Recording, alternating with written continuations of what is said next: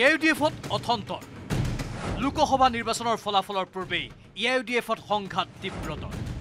দলীয় সংঘাত আৰু আভ্যন্তৰীণ কণ্ডল দেখা দিয়াৰ মাজতেই সাংসদ অজিত কুমাৰ ভূঞাৰ পিছপোৰণ। সাংসদ অজিত কুমাৰ ভূঞাৰ মতে লোকসভা নিৰ্বাচনৰ ফলাফলৰ পিছত এ আই ডি এফ দল নাথাকে। শূন্য হ'ব এ আই ডি এফ দলটো।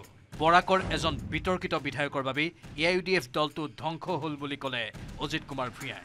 বৰাক ভেলীত যিজনে ৰজাৰ দৰে একেবাৰে বিশাল কনভয় লৈ পেলাই ঘূৰি ফুৰে মই নিজে দেখি আহিছোঁ। গতিকে এই মানুহটো যিটো মানুহৰ নাম সকলোৱে জানে এটা এজেণ্ট হিচাপে হিমন্ত বিশ্ব শৰ্মাৰ হৈ কাম কৰি আছে যে সেইজনক কাৰণ দৰ্শক জাননী জাৰি কৰিব লাগিছিলে।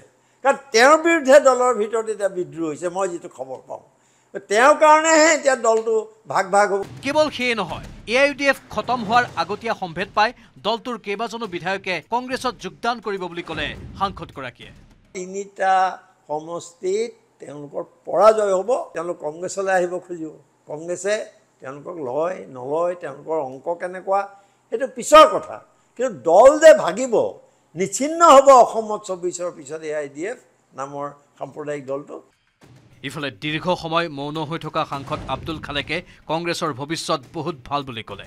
কংগ্ৰেছৰ ভৱিষ্যত ভাল। আমি আশা কৰিছোঁ যে কংগ্ৰেছৰ নেতৃত্বত ইণ্ডিয়া জোঁটবন্ধন চাৰি জুনৰ দিনাখন শপত গ্ৰহণ কৰিব। আমি আশা কৰোঁ যোৰহাটৰ ফলাফলে অসমৰ ৰাজনীতিত সুদূৰ প্ৰসাৰী প্ৰভাৱ পেলায়। কংগ্ৰেছৰ দিন ভাল দেখি এ আই ডি এফৰ বিধায়ক আহিব বিচাৰিলেও দলৰ পুৰণা ব্যক্তিৰ কথা ভাবিব লাগিব বুলি কয় আব্দুল খালেকে। লোৱাৰ আগতে চাব লাগিব কংগ্ৰেছৰ দুৱাৰ সকলৰ কাৰণে খোলা থাকে। কিন্তু আমাৰ যিসকল পুৰণি লোক আছে তেওঁলোকক আমি কেনেকৈ একমডেট কৰিম? কাৰণ বিধায়কসকল সাধাৰণতে আহে টিকটৰ কাৰণে। পুৰণি লোকসকলৰ একমডেশ্যন কেনেকৈ হ'ব? নতুন মানুহসকলৰ কেনেধৰণে একমডেশ্যন হ'ব? সেই গোটেইবিলাক দিশ মই ভাবোঁ দলে চালি জাৰি চাব। সাংসদদ্বয় অজিত কুমাৰ ভূঞা আৰু আব্দুল খালেকে এ আই ডি এফ সম্পৰ্কত মন্তব্য কৰিলেও দলটোৰ এজনো বিধায়কে দল ত্যাগ নকৰে বুলি কয় সুজামুদ্দিন লস্কৰে।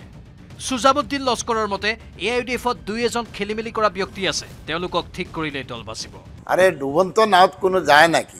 দিল্লীত কোনটো সৰকাৰ চলি আছে অসমত কোনটো চলি আছে কংগ্ৰেছ এতিয়া ডুবন্ত নাও। তাৰ ওপৰত আমি আছোঁ। এইবিলাক আপুনি চাৰি তাৰিখৰ পাছত গম পাই যাব। আছে দুই এজনৰ কথা আছে সেইটো আমি চাৰি তাৰিখৰ পাছত পৰ্যালোচনা হ'ব। এ আই ডি এফৰ পতন অসমৰ ৰাইজৰ বাবে শুভ লক্ষণ বুলি কয় সাংসদ অজিত কুমাৰ ভূঞাই। ভাল ইতিবাচক ঘটনা হ'ব। আজমল হৰাটো। বিপুল বৰ্মনৰ report news eighteen Assam north east.